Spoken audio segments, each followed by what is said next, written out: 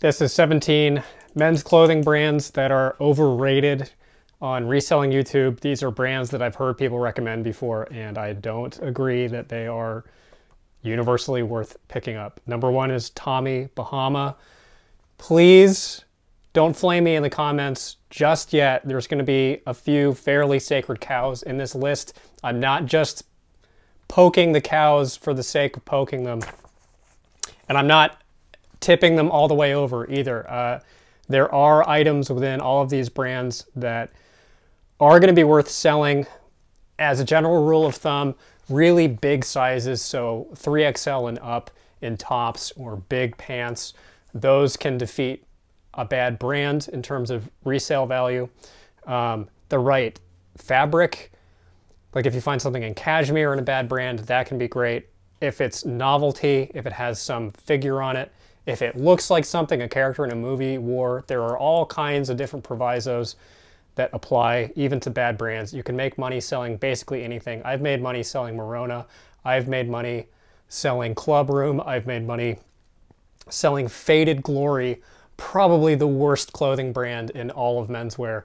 So, with a grain of salt. However, Tommy Bahama, overrated. I'm sorry, it is overrated. The overall sell-through rate is 31% in pre-owned condition, and all of this is pre-owned condition, and all of this is data collected from eBay.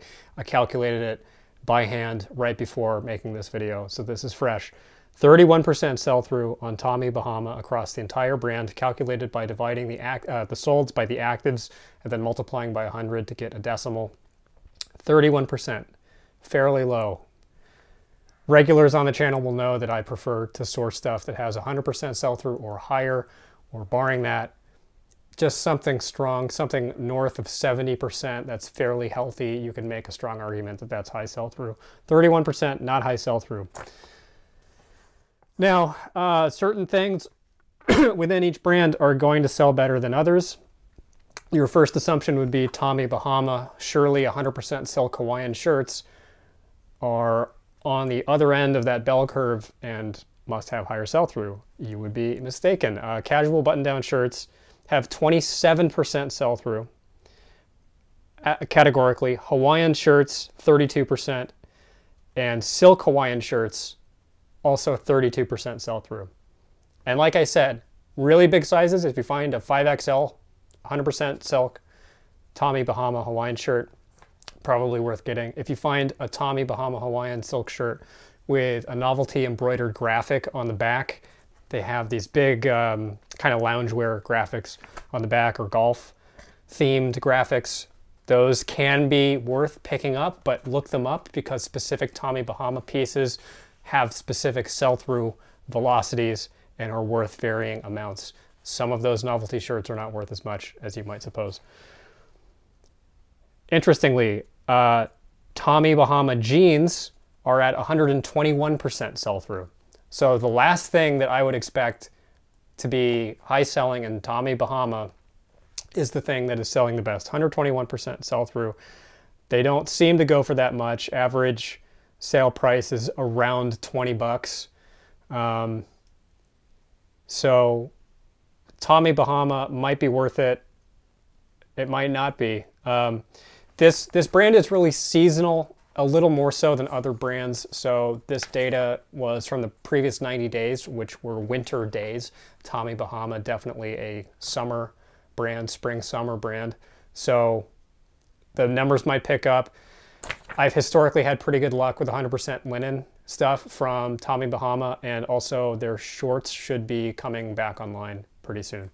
So it's not a trash brand, but just tread lightly. Brand two is the second Tommy. It's Tommy Hilfiger, which when I started reselling was super hot. Vintage Tommy Hilfiger stuff was the piece de jour. It was what everybody was talking about. Uh, cropped up on every men's clothing YouTube video, certainly the recommendation videos to get the big flag. And the big flag stuff can be worth picking up. It has slightly higher sell-through than the brand in general. And until I looked at the numbers, I assumed that vintage Tommy Hilfiger stuff had to still be high sell-through. I was wrong. The brand Tommy Hilfiger, just as a general brand, has 19% sell-through, which is dismal. And vintage Tommy Hilfiger, 24%. And this is all in the men's clothing category. This is not including kids, it's not including accessories, it's not including women's clothing. 24%. shirts, vintage Tommy Hilfiger shirts, terrible sellers. Dress shirts are awful. Dress shirts, I just, I would not even touch. Like I said, the big flag stuff has a little bit higher sell through, 41% right now. And vintage jeans are the strongest sellers at 70% sell through. And even their vintage jackets, 31%. So Tommy Hilfiger, it, its, its day may have come and gone. Brand number three is Cubavera. This truly is overrated. I have bought it a number of times per recommendations from people, and almost always it has sat in a bin for a long, long time before selling for not very much money.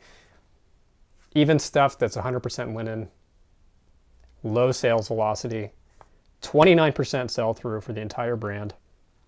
Casual shirts, which is what you're mostly going to find, like their bowling shirts, 30%. Polos even worse, 10%. 10% sell through on Cubavera polo shirts. Pants do a little bit better at 44%. And the one thing that I could spot in the solds that might be worth it, worth seeking out, is linen jackets. They're sport coats, linen sport coats, which are at 44%, and their average sale price is okay, like 40 bucks, I think.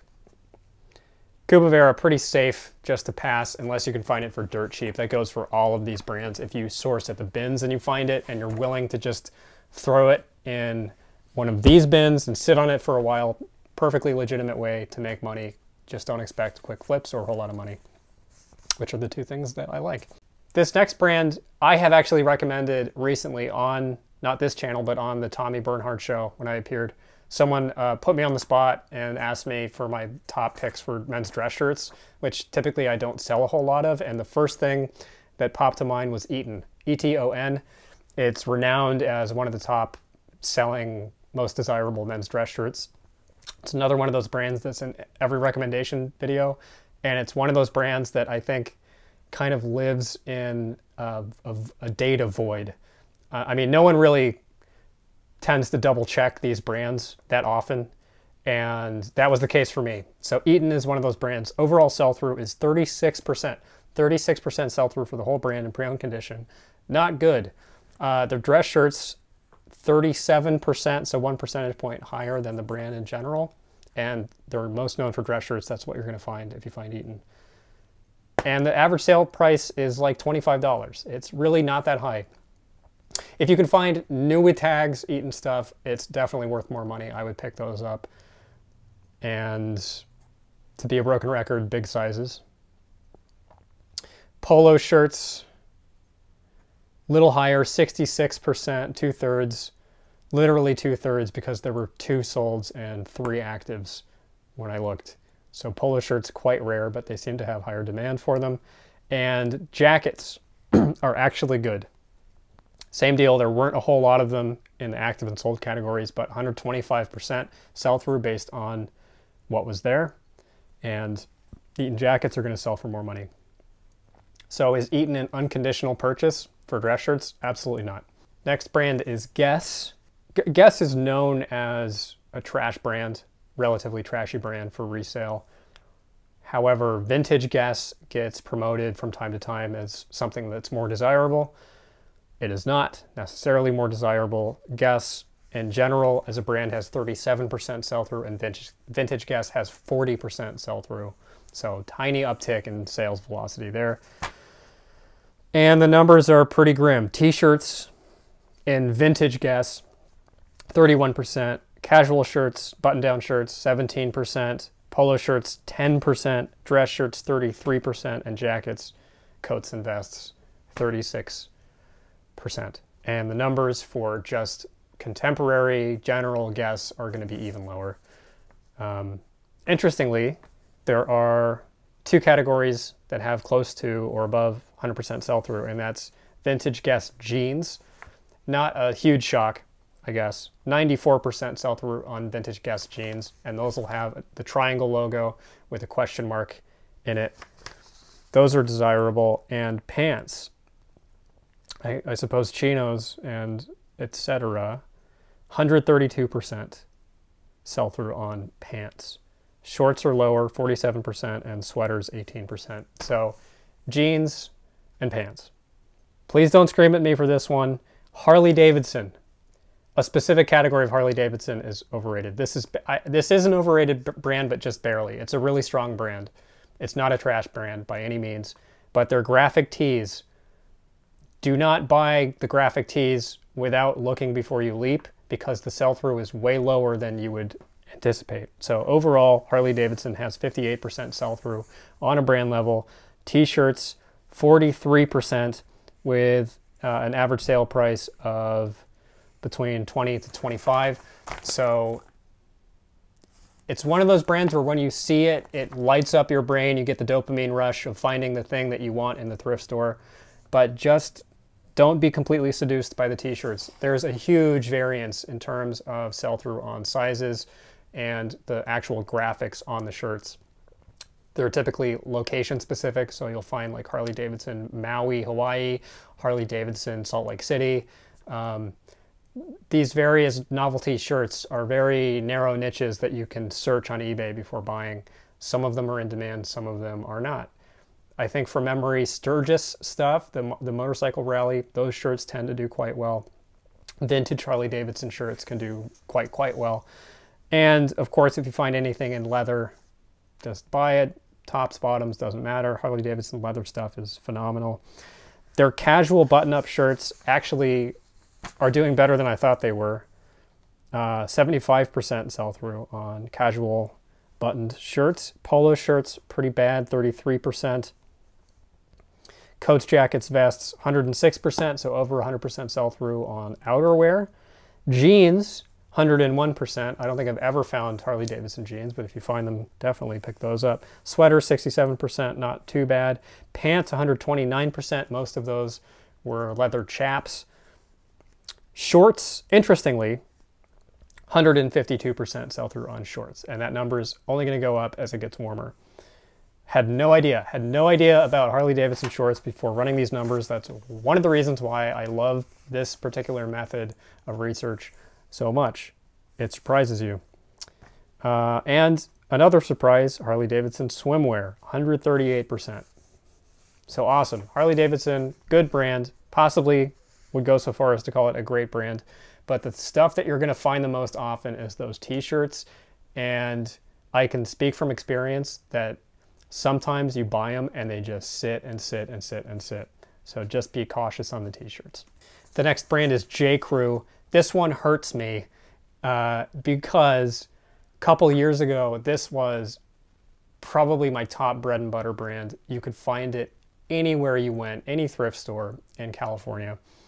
And it had close to or above 100% sell through just across the whole brand in men's clothing. And then it just precipit it just took a nosedive. It went down Splash Mountain. Sell through right now is 39% for the brand. Shirts are pretty bad. Generally, the casual button-down shirts are at 26%, which wounds me even more deeply because those were the, the breadest and the butterest of, of this brand for me. Dress shirts, dismal, 13% sell-through. Interestingly, t-shirts are at 78% sell-through. Doesn't usually happen. Usually t-shirts are uh, lower sell-through from my observation. Polo shirts, 34%, pretty bad. Sweaters, 52%, there's some potential there. Pants, 47%. Coats, jackets, and vests, 64%, so okay numbers. Shorts, 36%. Again, that number will, will raise, rise, will rise as the summer progresses. Suits, 39%.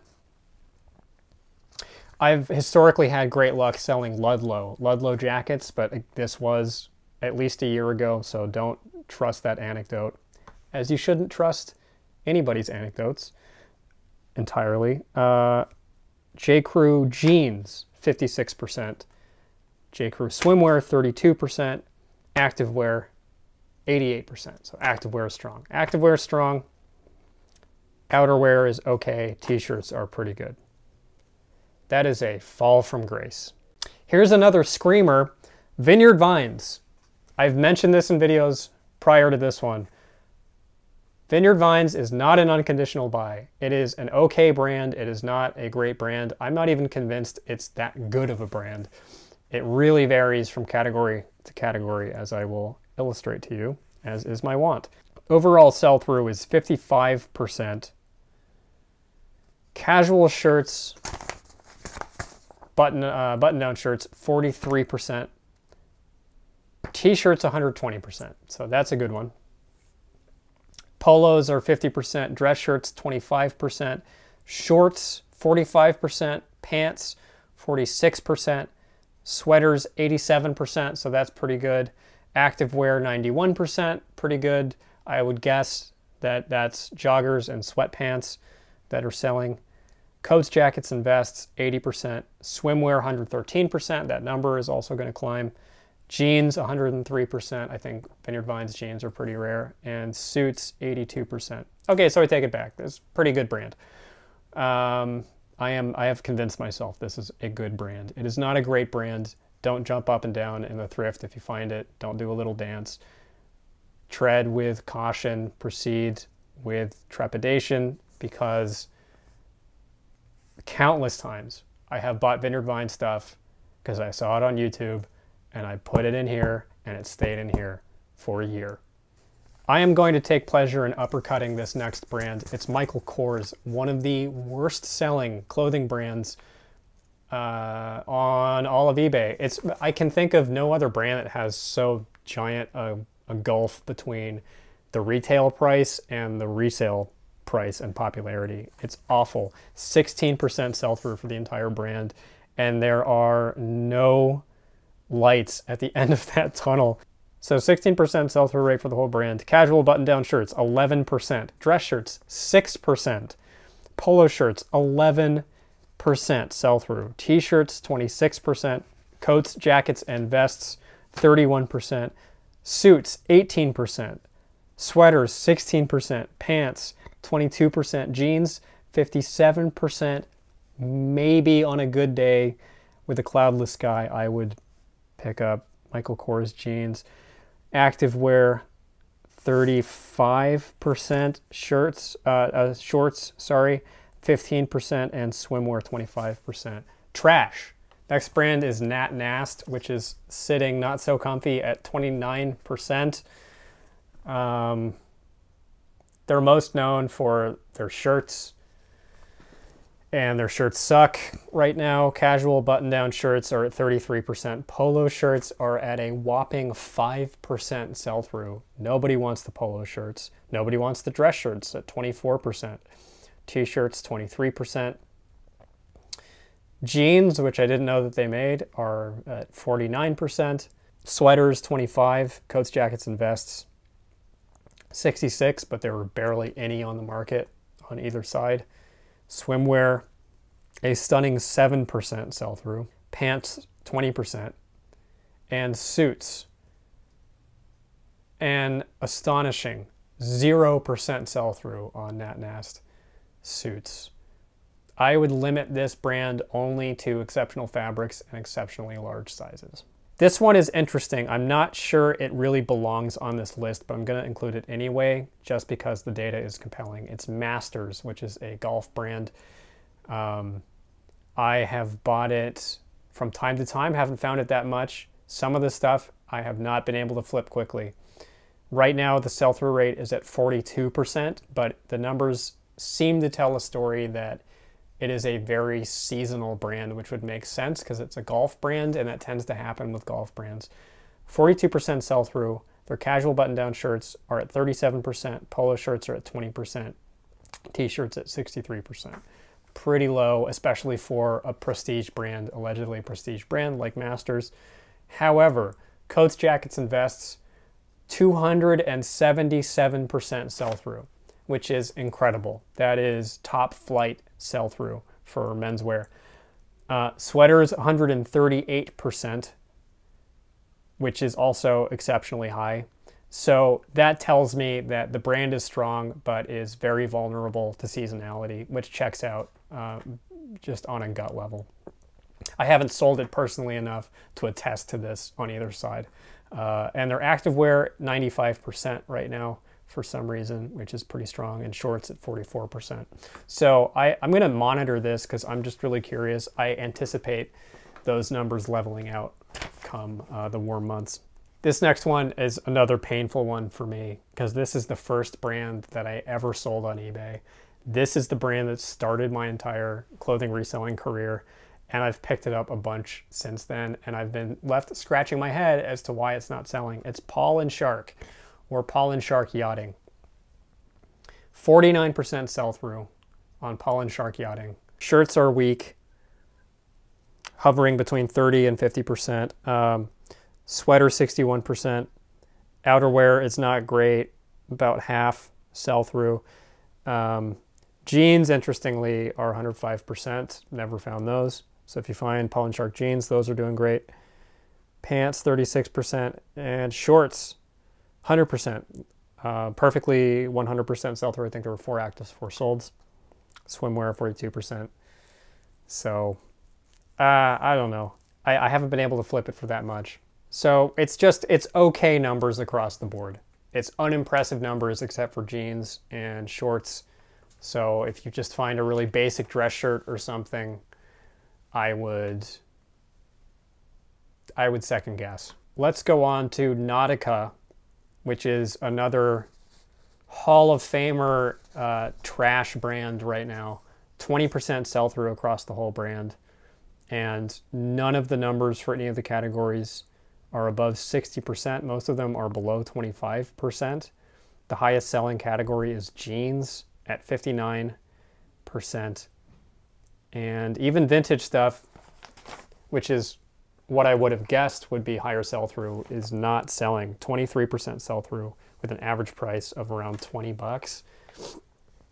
I've done okay with their vintage sailing windbreakers, especially color block stuff.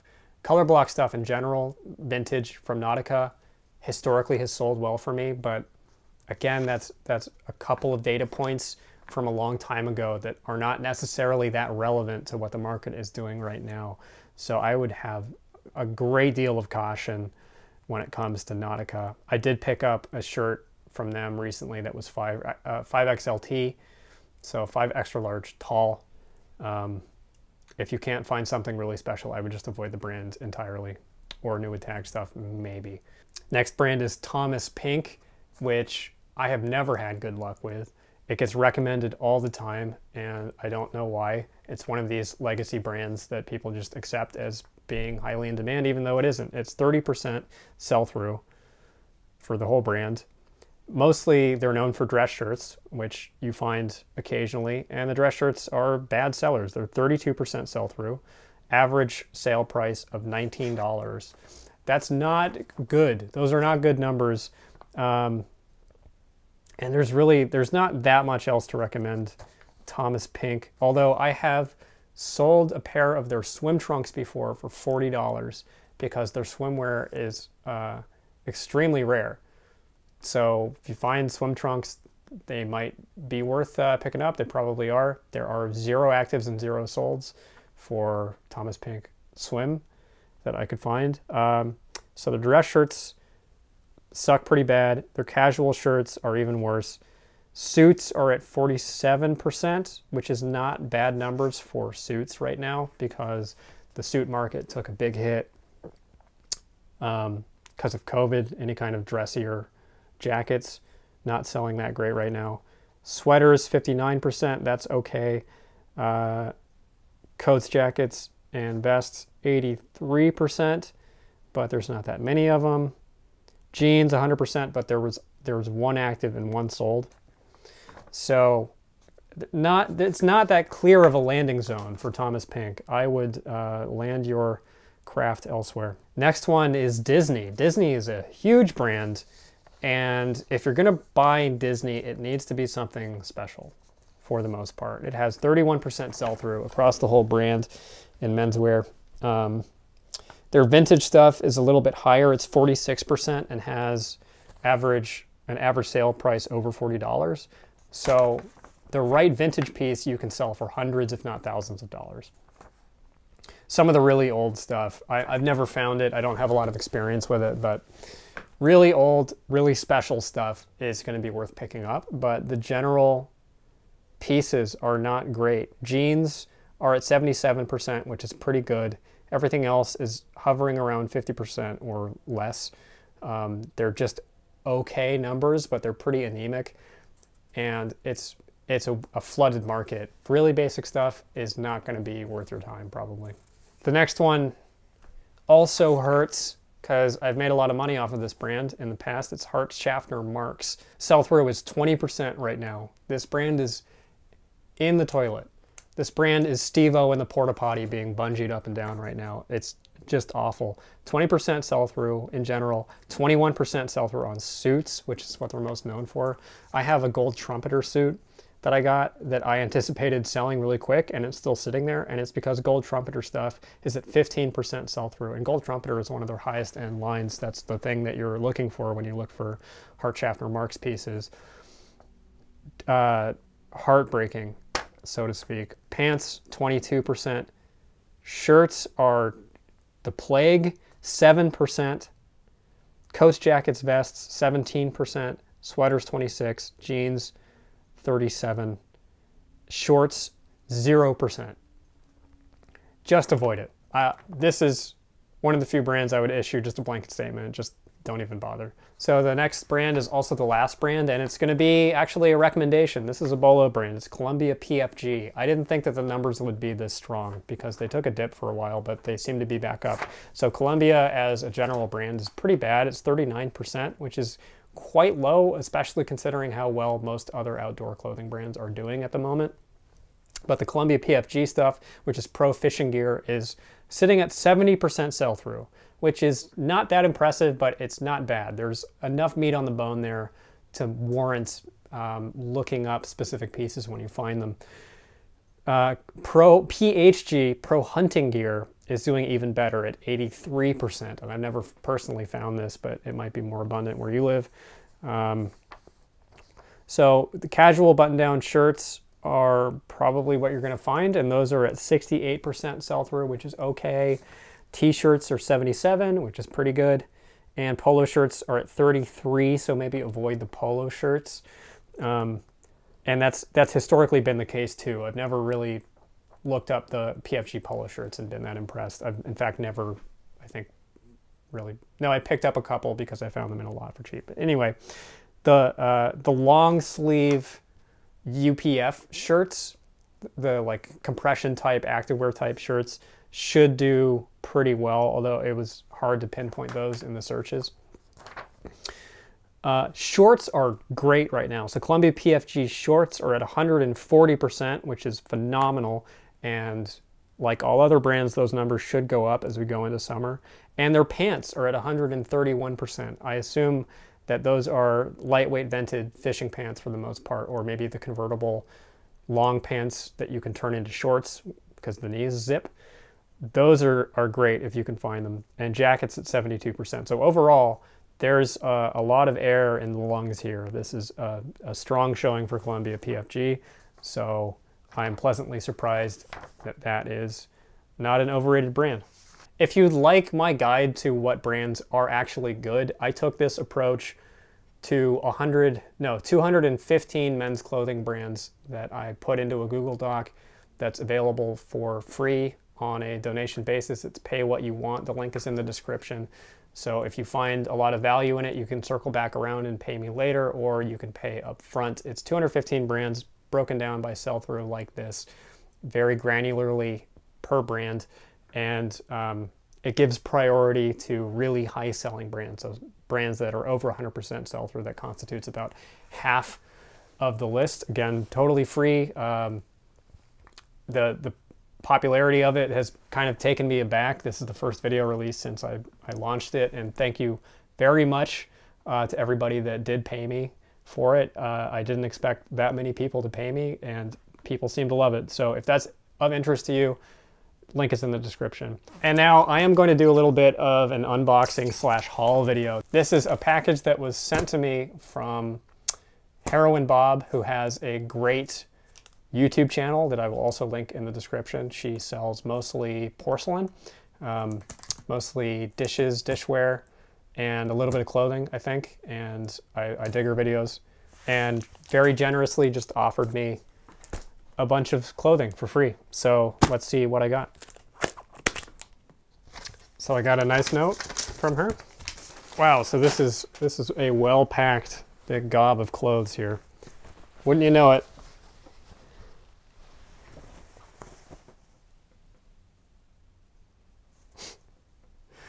So this is a uh, this is actually going to sell just fine because I'm going to list it as a fishing shirt. It's not necessarily a fishing specific shirt. This could be just a general hiking shirt, but the aesthetics are right and that pocket fits in with fishing. So these Velcro, which is not a keyword that you are permitted to use on eBay or shouldn't do so freely, use hook and loop instead because Velcro is um, copywritten or you could get a Vero charge. Um, but the, the Velcro pocket, the big cargo pocket there, and then this zip here with the mesh. It's not a, a vented shirt. Most proper fishing shirts are vented, but if I throw the fishing keyword on there, that should make for a relatively quick flip, and I will probably price it close to the bottom of the market just because I acquired it for free. And look at this. I swear this was not planned. This is a PFG shirt. So this will help illustrate. That's the PFG logo. And this is a small. I actually may keep this. If this fits me, then this is going to become my shirt because I need fishing shirts. That's pretty sweet. Here's another one.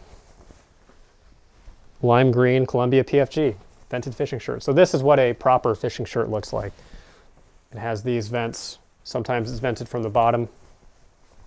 Let's see how it has all the pockets on the front. And then this thing, this little Velcro tab right here is a dead giveaway. Um, this is meant to hold, hold your fly rod as you are taking a photo with a fish so you can have your hands free. So that is what a honest to God fishing shirt looks like. And fishing shirts in general are um, typically pretty high sell through, regardless of brand. Even like bad, like relatively bad brands like Eddie Bauer, some of their fishing shirts can sell really well. I haven't run those numbers recently. This is really good. Under Armour polo shirts are great sellers. Um, it says Heat Gear. Let me look at the tab. This is not anything specific under Armour heat gear stuff, especially polo shirts, are really strong sellers. I don't remember the actual sell-through numbers on Under Armour polos, but Under Armour in general is a pretty desirable bread and butter brand. It's strong sell-through, and those polo shirts have always sold very quickly for me. Here's uh, Under Armour loose heat gear. This right here, heat gear. The loose heat gear polos are great sellers. I don't think they sell for all that much but the demand is definitely there or has been. Here is another Under Armour polo, small. Here's a basic Adidas polo shirt. This is an active shirt, performance shirt. It's another keyword. Might also list it with the keyword golf. Here's a men's medium Adidas Climacool basic active t-shirt. Here's another medium those stripes are probably pretty attractive to someone. It's kind of a mesh active shirt. There's a few of these, it appears, and I'm probably going to wind up lotting these together because individually the sell-through or the, the prices are not going to be all that high probably. This looks to be the most valuable one just because it has that Adidas logo on the chest and the black and white striping is pretty classic. That would be my guess at least. So at least those three are gonna get lotted up together. Here's a North Face button-up shirt. North Face stuff I have historically stayed away from, but this, the numbers are quite strong right now, um, likely due to COVID. I will list this possibly also as a fishing shirt. Here's another North Face, the A5 series, which I've never seen before. That might be something. Let me actually look that up right now. 218 solds to 569 actives for North Face A5. So it looks like A5 does not confer uh, more sell-through value, but another decent little North Face shirt. If I got it for free, it's a great item. Uh, oh, and here's another one. Another A5. Medium.